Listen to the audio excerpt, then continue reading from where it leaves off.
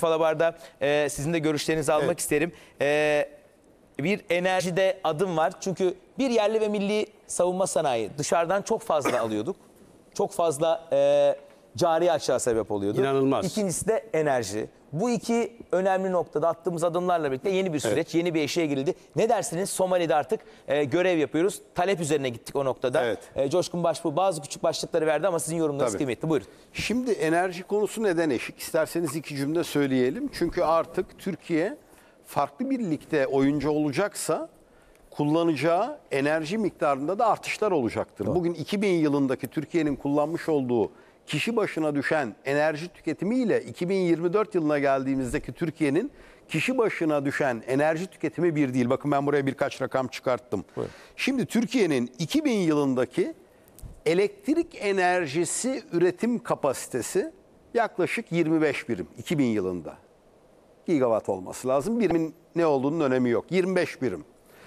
2024 yılında Türkiye'nin kurulu enerji kapasitesi şu an hali hazırda üretim yapan 110 birim. Kaç kat artmış?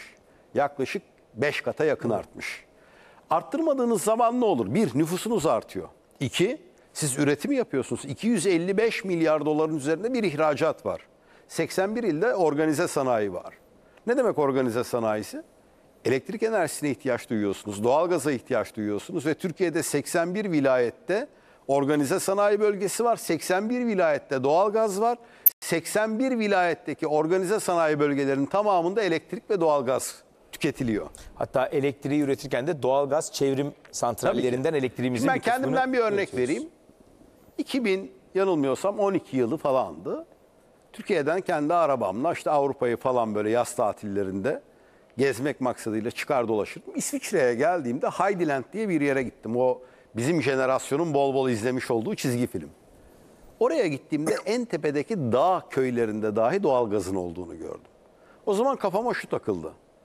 İsviçre gibi Alplerde yaklaşık yerden 1500-2000 metre yukarıdaki yerlerde doğal gaz kullanılıyorsa bu doğal gaz buralara ne zaman geldi? Tak hafızam beni aldı. 1997 senesinde merhum Necmettin Erbakan'ın ben o zaman Van'da görevliyim. İran'dan Van'a doğal gaz çekmekle ilgili projesini söylediğinde nasıl şeytanlaştırılıp taşla taşlandığını hatırlıyorum ben 97 senesinde. Neden? Sen kullanma kardeşim. Hele İran'dan alacaksan sakın ha. Bu işler öyle kolay hallol- hallolmadı yani. Geçtiğimiz günlerde sosyal medya mecramda Putin'in açıklamalarını koydum. Orada diyor ki hatta Türkçeleştirip koyuyorum biliyorsunuz onları. Almanya'nın kuzey akımı başlatması için şöyle yapması yeterli diyor. Ama bu irade Almanya'da yok diyor. Putin'in bizzat kendi söylemi. Şimdi biz şöyle zannediyoruz. Bir Türk akımı var ve bu Türk akımı şöyle yaptık geldi. Yani Putin'le Erdoğan oturuyorlardı kahve içerlerken akıllarına böyle bir proje geldi. Ve hemen Rusya'dan Türkiye'ye oradan da Avrupa'ya giden bir hat çekildi. Birinin aklına da TANAP'ı yapmak geldi. O da Azerbaycan gazını getirdi. Bunlar önemli çünkü bu konuyla. Şimdi bunları eğer siz erişemezseniz o zaman konformist kafanın hiçbir şekilde dinlemek dahi istemediği şeyler bunlar. Bir konformist kafa var. Hiçbir şekilde dinlemek dahi istemiyor bunları. Ama şu şunu istiyor. Ya kardeşim ben gittim Bodrum'a yazlığıma. Taktım klimamı, bastım elektrik düğmesine. Elektrikler yok. Yahu bu nasıl ülke? Yahu burası Afrika'nın balta girmemiş ormanlarının yaşandığı bir ülke mi derler bunu. Şimdi hiç kimse demiyor. Neden? Elektrik kesintisi olmadığı sürece insanların böyle bir derdi yok. O zaman konformist kafa ne yapıyor? Konformist kafa bu işin e, nostaljisi üzerinden söylemler geliştiriyor. Nükleere karşıyız. Rüzgar enerjisine de karşıyız. Kuşların göç yolu değişiyor. Hidroelektrik Karadeniz'in coğrafyasını zaten mahvetti. Doğalgaz, e, el aleme doğalgaz parası ödüyoruz. Ona zaten karşıyız. Ne yapacağız? Captain Caveman gibi mağarada mı yaşayacağız? Şimdi bak bu soruları basite indirgeyerek bu açıklıkla izah etmek istiyorum. Kardeşim elektrikli araba alıyorsun. Türkiye'deki trafiğe kayıtlı araç sayısı 2000 yılında 4 milyonlardaydı. Şimdi 30 milyonlarda. Şimdi herkes söylüyor. E biz bu yolu yiyeceğiz mi? Ya kardeşim hane başına iki araba düşmeye başladı Türkiye'de. Yakında Almanya ile Fransa ile aynı noktaya gelecek elektrikli araçlarla beraber. 30 milyon Fransa'daki rakamla eşitlememiz için 10 milyona daha ihtiyaç var. Peki O zaman yol olmadan nasıl olacak? Aynı şey enerji. Nereye dönüyor elektrik enerjisine dönüyor olay? Artık herkes de piyasada sadece 40 bin tane TOG var bugün. TOG olanını söylüyorum. Onun dışındakileri de kattığımızda üçte biri TOG. Üçte ikisini daha ilave ederseniz 40, 40, 80, 120 bine yakın elektrikli araba var. E şimdi bu rakam var mı projeksiyonunuz? 2050 yılında kaç olacak? Şu rakama çıkacak. Şimdi Ona ne konuşuluyor biliyor musun? Sevgili Aktan. Mobil, modüler, nükleer santraller konuşuluyor. Küçük bir nükleer santral bir apartman büyüklüğünde ama Eskişehir'in örneğin elektrik ihtiyacını karşılıyor. Şimdi gelelim buraya. Buyurun. Türkiye'nin elektrik enerjisi başta olmak üzere enerjiye ödemiş olduğu fatura yaklaşık 90 milyar dolar. Türkiye'nin cari açığı da yaklaşık 100 milyar dolar. Demek ki benim dışarıya karşı borçlu olmama sebebiyet veren Enerji. en önemli şey enerji. Neden? 85 milyon insan var. Dün Turizm Bakanı açıklama yaptı. 46 milyon turist gelmiş Türkiye'ye. 50 milyon turist bir bardak su içse 50 milyon bardak su eder. Şimdi siz bunlar için yetiştirmelisiniz, üretmelisiniz, elektriği sağlamak zorundasınız, yollarınız olmalı, havalimanlarınız olmalı. 100 milyar dolar. Peki emekli maaşı iyi olsun. Normal maaşlar da iyi olsun. Ülkenin refah seviyesi daha üst düzeylerde olsun. Ama 100 milyar dolar enerji açığım var. Eğer 100 milyar dolarlık enerji açığını, yaklaşık rakamları söylüyorum, kapattığın an vatandaşının cebine girecek 100 milyar dolar demek. Böyle çünkü pastadan pay artar. Muhtarlıklara kadro açarak pastadan pay arttıramazsınız. Şimdi dolayısıyla Türkiye'de zaten hummalı bir çalışma yürütülüyor. Tuna ağzında doğalgaz çıkartıldı.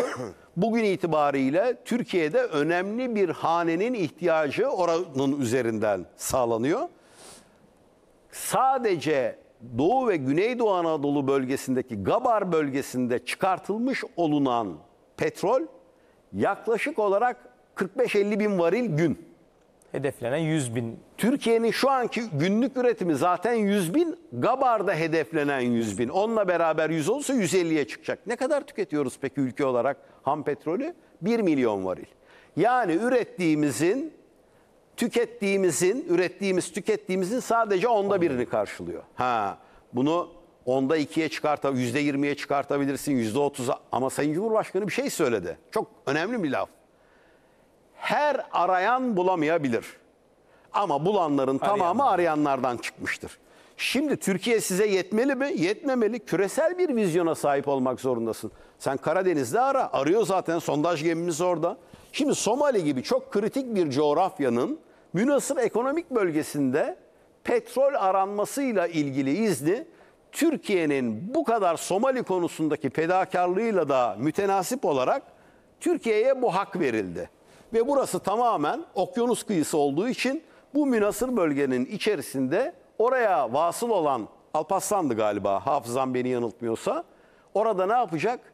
Önce sismik araştırma yapacak. Yani bir bakacak yerin altında nerede ne sondajı yapabiliriz. İlk önce elinizde bir haritası olacak ki sondaj geminiz gelecek ona göre yapacak. Bu bitmedi ama.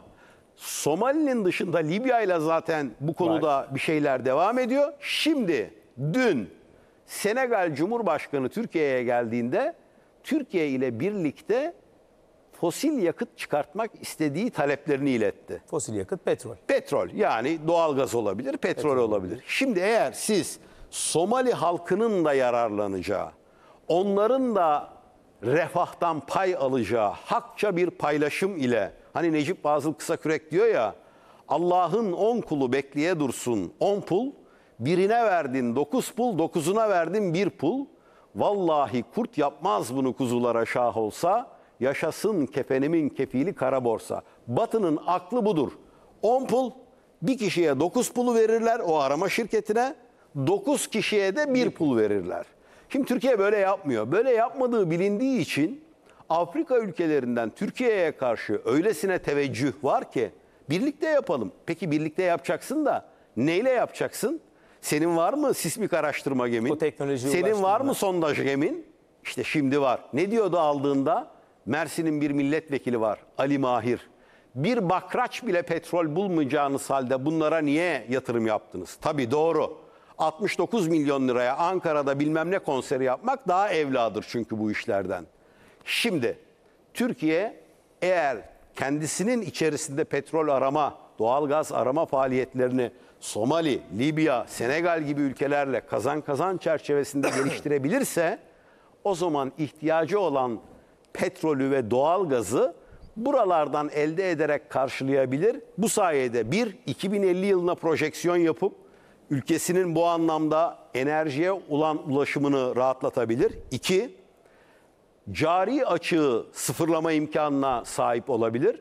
Bu sayede 100 milyar dolar 85 milyonun cebinde kalır ve böylece refah seviyesi daha da artar. Şimdi şey diyorlar ya işte ben hasbelkader Avrupa'da uzun yıllar bulunmuş bir insanım. Gittim, gezdim, yaşadım, turist olarak da gittiğim yerler var.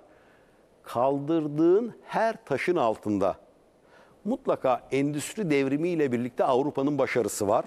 Rönesans'la birlikte başlayan ayırdım bir tarafa ama aynı zamanda da parmakları kendi dokuma tezgahında dokuduğu için kesilen Hint kumaşı hani bulunmaz Hint kumaşı mısın diyor ya Hintlilerin, Afrikalıların, Köleleri. Leopold'un kesmiş olduğu eller de var. Onların alınlarından akan terler de var. O ülkelerden yapılmış sömürü düzeni sayesinde 200 yıldan bu yana endüstri devrimini oralardan getirmiş oldukları emtia ile döndüren bir Avrupa var. Şimdi bana soruyorlar. Şimdi bana Amerika. soruyor. Şimdi bana soruyor. Ya İngiltere'de pandemi sürecinde işte Hollanda'da pandemi sürecinde Hollanda devleti bunu yaptı. Yaptı doğru. 200 yıldan bu yana Endonezya'yı sömürdü. Küçücük Hollanda. Bana söyler misin ben 200 yılın 1800 ile 1923 arasında geçen 123 senesini yıkılmayı, parçalanmayı ve yok olmayı nasıl hasarsız anlat, atlatırımın derdine düştüm. Bir gece bir Balkan Harbi patladı. Hiç öğretilmez bizim tarihimizde. Bir ucu İşkodra'da. Bizzat gidip yerinde görmüş birisi olarak söylüyorum. Bir ucu Yanya'da, bir ucu Larissa'da. Bir coğrafya ta Edirne hattına kadar geldi 6 ayda. Kendi arabanla bu yolları gitmeye kalk en az 10 saatte gidersin konforlu otobanda. Şunu söylemek istiyorum. Biz bu yola geç revan olduk. Kimseyi sömürmeye niyetimiz yok. Türkiye'nin enerji ihtiyacı her geçen gün artıyor. İstemezlikçilere bakarsak kaptan mağara adamı gibi taş devrinde yaşar gibi yaşatırlar bizi. Türkiye'nin bu çabaları ortaya koyulduğunda Cumhuriyet Halk Partisi'nde Namık'tan diyor ki okyanus ötesi maceracılık şuna. Neden? Çünkü induced afazi diyor Alev Alatlı merhume. Yani beyni afaziye uğramış insanlar. Bunlar bu şekilde şartlandırıldıkları için Amerika gider Somali'de arar. İngiltere'nin bilmem ne firması gelir Doğu Akdeniz'de arar. Ama sen arayamazsın. Neden? Çünkü ben buna iman ettirildim demek bu. O yüzden şu enerji tablosu sabaha kadar konuşsam herhalde anlatacak daha çok şeyim olurdu. Peki, biraz o zaman sizi dinlendirelim Eyvallah. ee, Coşkun Başbuğ'la birlikte.